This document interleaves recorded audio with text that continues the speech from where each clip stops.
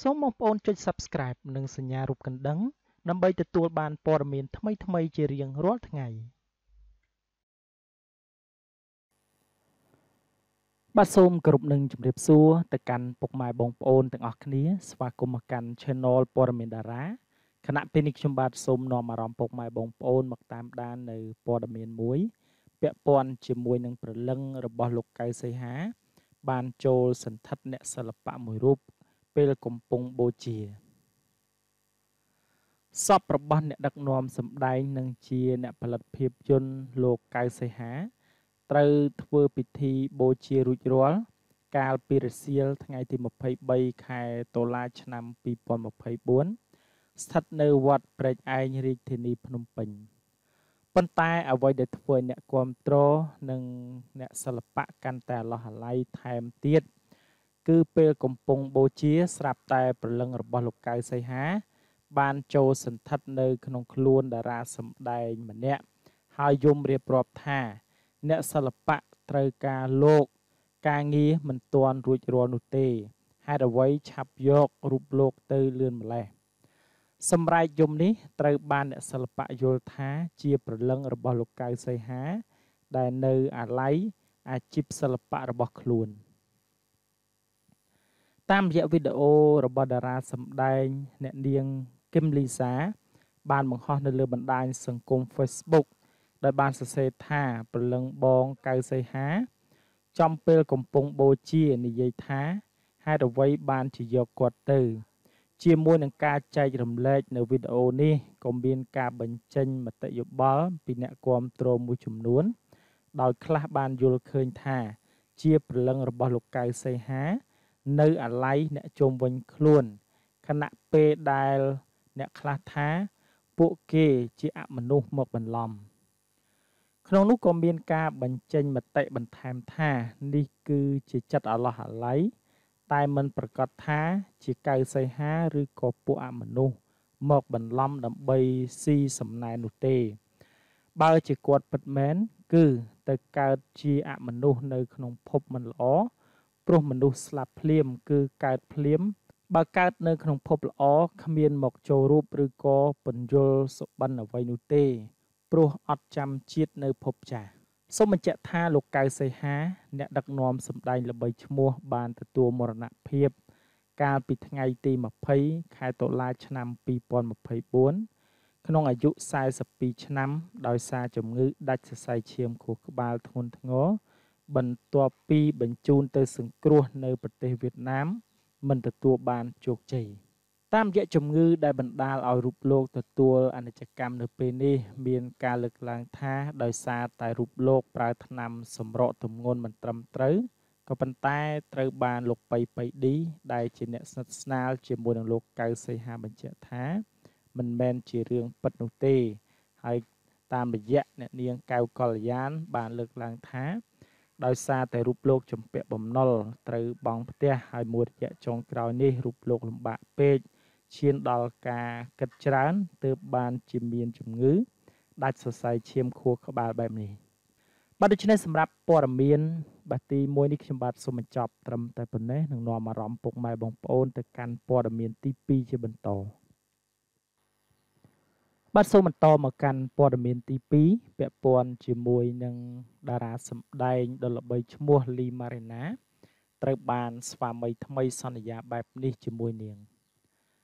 អស់រយៈពេលជាង10ខែមកហើយក្រោយពេលដែលលីម៉ារីណាបានក្លាយទៅជាភរិយាស្របច្បាប់របស់លោកទៀងច័ន្ទសាអធិការដ្ឋាននគរបាលខណ្ឌដូនពេញមកបំពេញបំណងរបស់នាង ដែលចង់ពពោះកូនភ្លោះនៅ ឆ្នាំរោងនេះ នៅមិនទាន់បានសម្រេចនៅឡើយហេតុនេះហើយធ្វើឲ្យតារាវ័យ43ឆ្នាំមិនសូវសប្បាយចិត្តនោះទេ ព្រោះនៅបាំងពីខែទៀតទេ ឆ្នាំរោងនឹងកន្លងផុតទៅប៉ុន្តែដើម្បីឲ្យម៉ារីណាកាន់តែមានសេចក្តីសុខនិងជឿជាក់លើស្វាមីថែមទៀតនោះ កាលពីថ្ងៃទី22ខែតុលា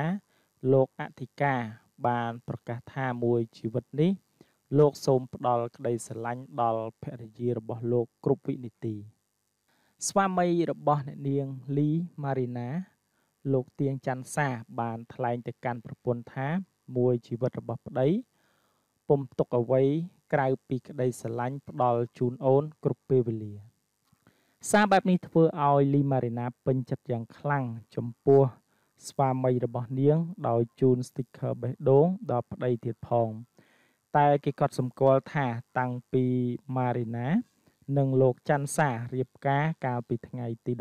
11ខែ1ឆ្នាំ2024អ្នកទាំងពីរតែងតែចេញសារសរសើរគ្នាទៅវិញទៅមក ហើយអ្វីដែលតារាសាច់ចាំនៅតែសមាត់ខៃរូបនេះ សែនកក់ក្ដៅនោះគឺប្តីចាត់ទុកកូនប្រុសរបស់នាង ដូចជាកូនបង្កើតរបស់លោកដែរខណៈពេលដែលលីម៉ារីណាក៏បង្ហាញនៃការស្រឡាញ់កូនស្រីភរិយាដើមប្តីទុកជាកូនរបស់នាងដូចគ្នាសូមបញ្ជាក់ថាលីម៉ារីណាក្រោយពេលមានប្តីលោកអធិការរូបនាងទៅណាមកណាក៏ត្រូវបានមិត្តភ័ក្តិរួមអាជីពហៅថាជំទាវជំទាវដែរ បើទោះបីជានាង មិនធ្លាប់សម្ញែង មានអង្គរៈការពារឆ្វេងស្ដាំក្តី តែអត្តពលរបស់ប្តីនាងនាំឲ្យគេគោរពនិងចាត់ទុកនាងជាប្រពន្ធរបស់អ្នកធំ តែគេឃើញម៉ារីណានៅតែមមាញឹកជាមួយនឹងការលក់ផលិតផលអនឡាញដូចមុនដដែលព្រោះតែរូបនាងមិនពឹងទៅលើការចាយប្រាក់របស់ប្តីតែម្ខាងនោះឡើយ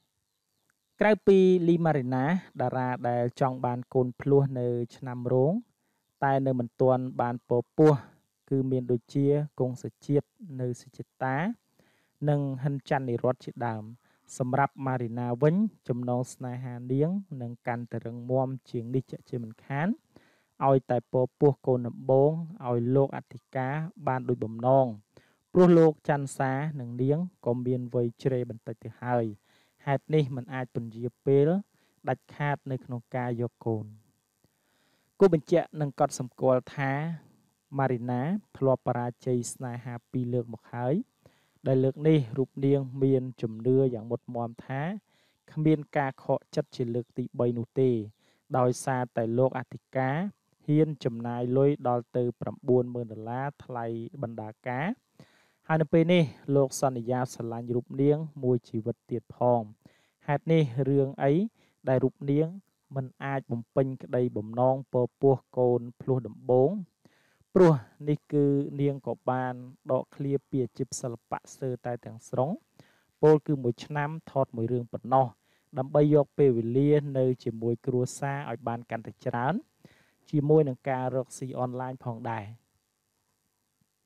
អ្នកជំនាញសិល្បៈបានលើកឡើងស្រដៀងគ្នាថាស្រីស្អាតនៅក្នុងពិភពសម្ដែងបើទោះបីជាមានអាយុច្រើនបន្តិចក្តី